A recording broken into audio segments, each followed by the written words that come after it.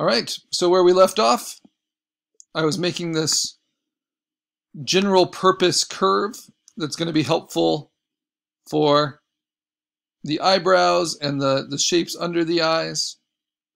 And I'm just rounding out the, the ends a little bit. And I think I want to err on the side of that curved edge being a little bit smaller.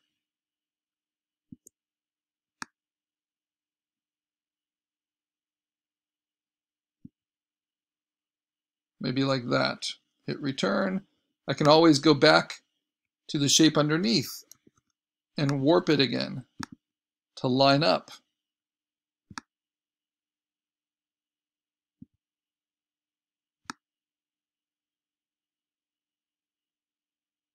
with the curve, with that uh, oval.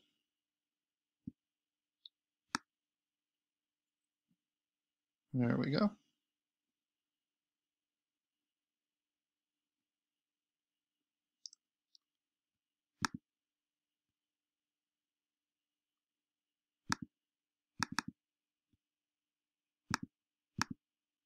All right, Control T. Just tweak it a little bit, and I can also warp it if I just need to move it in one area like that. Don't always need to just do the full scale. You see how that looks cleaner as an overall shape than without it. Now I'm going to duplicate that and move that duplicate to the other side.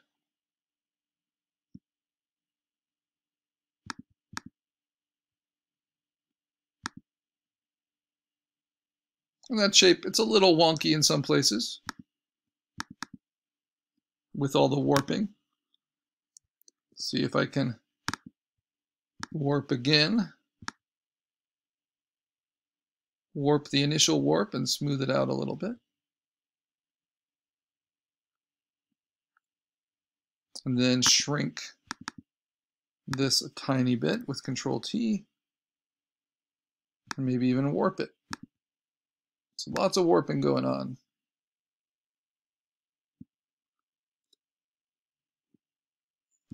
So it looks like one smooth shape, but all created with a vector. So all three of those make up that one shape. So I'm going to select all three of them and put them into its own group. I can even label the group. So this is the, the curve. And I can label this group call it the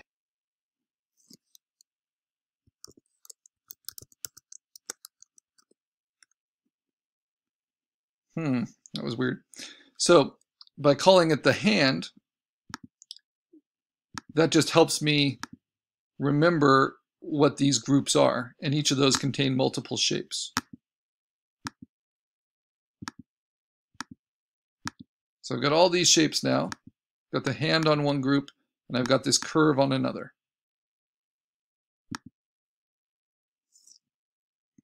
All right. So let's layer them up. It's a good time to save my progress, especially because my computer did something weird. Now I'll take that curve and I'm going to make a duplicate of it right away. Command J, and it will duplicate the entire folder.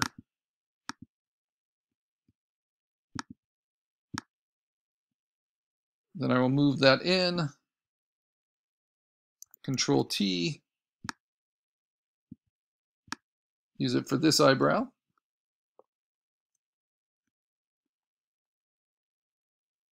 Then I can duplicate it again, and then do Control T, and I can actually flip it horizontally, so it's a perfect match, mirror image. And line that up on this side.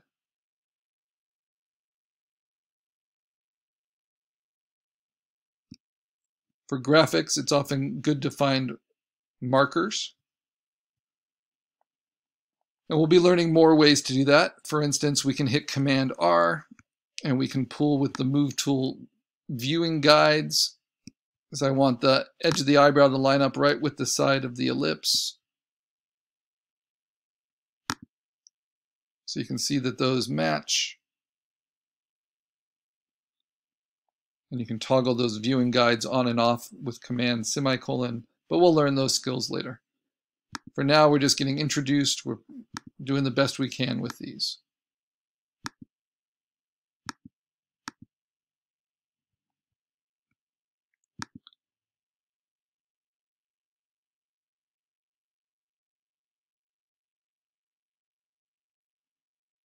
And then I might decide I want to alter these a little bit from the original emoji. And you can transform with Control T a whole folder rather than just an individual layer.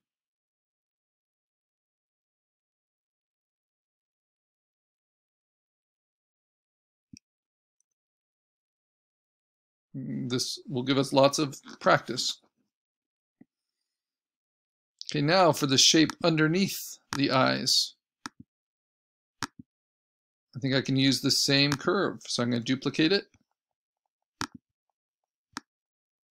Move it down, Control T, shrink it, and sh flip this vertically.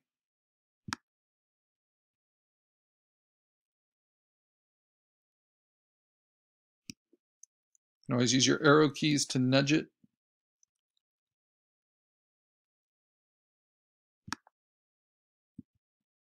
And I can stretch it.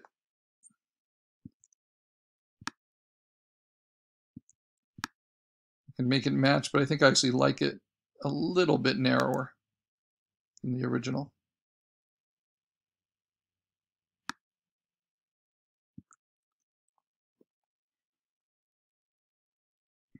All right.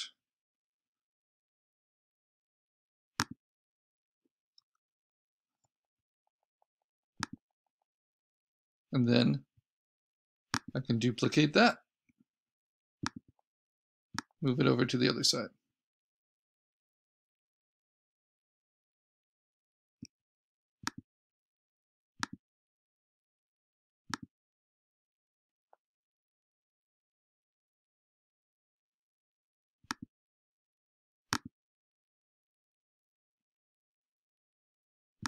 Now, if I want to move this teardrop shape above, over and above that, I can grab that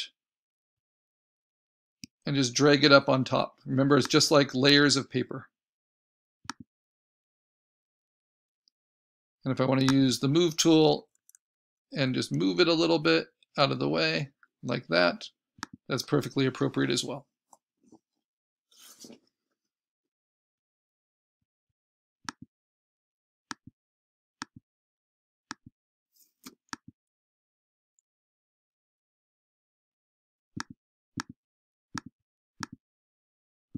I'm trying to see if I want to do anything more with the eyebrows.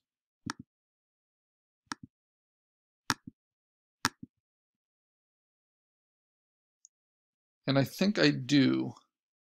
So let's, hmm, I want to have at least one echo curve. So I'm going to take this curve, I'm going to duplicate it, and then I'm going to Control T, I'm going to flip it horizontally and then flip it vertically, which is the same as flipping it 180 degrees. I'm going to line it up with it like that.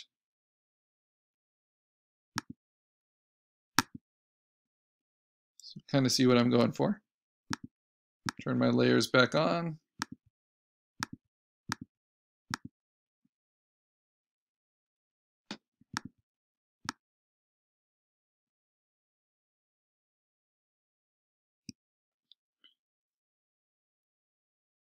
Control T, warp is not available when you're doing it to a whole folder. But you can distort it and scale it. And with enough familiarity about angling it and distorting it and scaling it, you can still have a lot of control even though you can't warp it fully.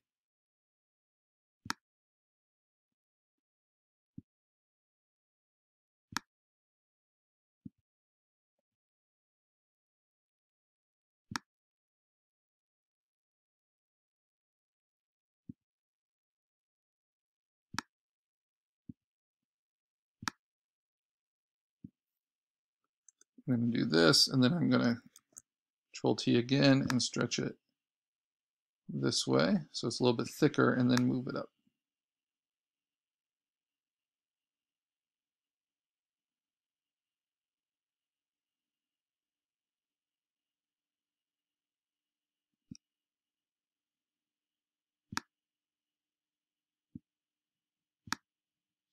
Now we've talked about scale, rotate, and warp. We haven't talked about distort. Distort can help you from just the corners.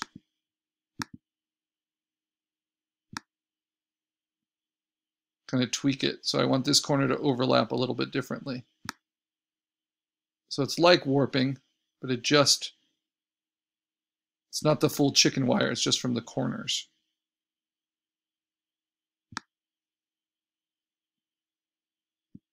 But anything that can get you to the shape you want.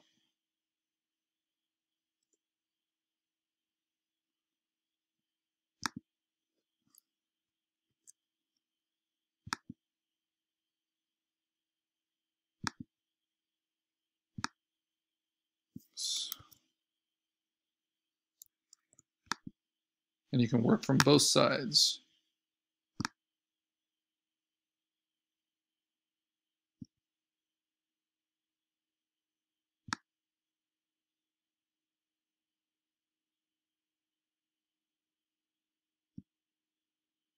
All right.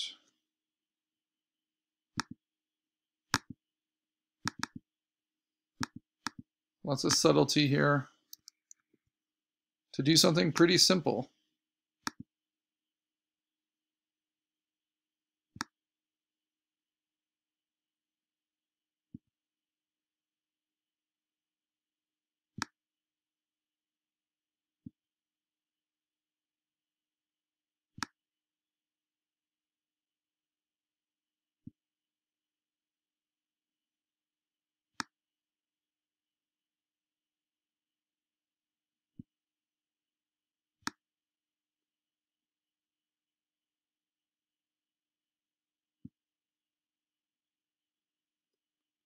This combined squiggly eyebrow.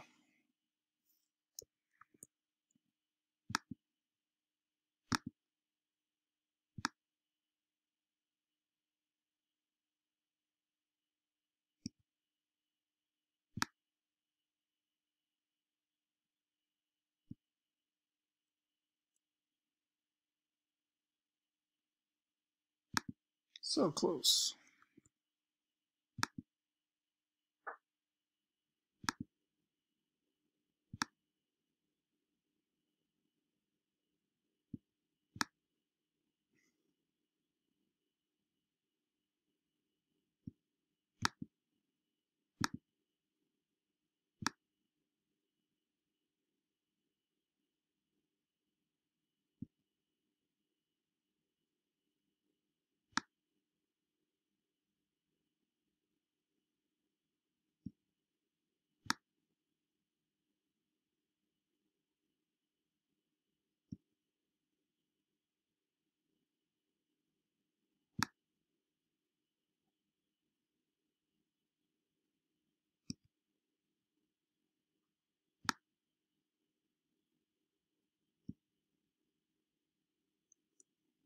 Okay. I think this will get me what I want.